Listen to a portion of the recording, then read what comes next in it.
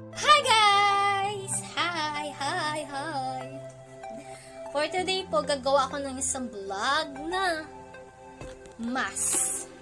Mga different mask po na pwedeng gamitin pang araw-araw. Actually, mahilig ako sa mga mask. Siyempre, aware from the COVID-19. Papakita ko sa inyo yung mga mask ko. Number one is my favorite. This is it. This one. Maliit siya. Ito siya, oh. Yan. Aray ko. Hindi nakatatakas sa mukha. Paliligo ko lang eh.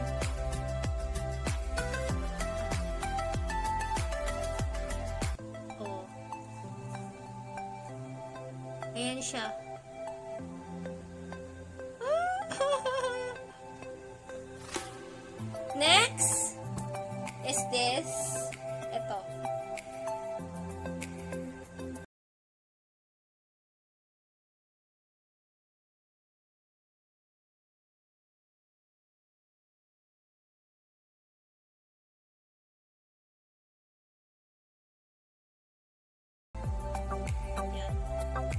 Tanggal. Kaliligo ko lang kasi.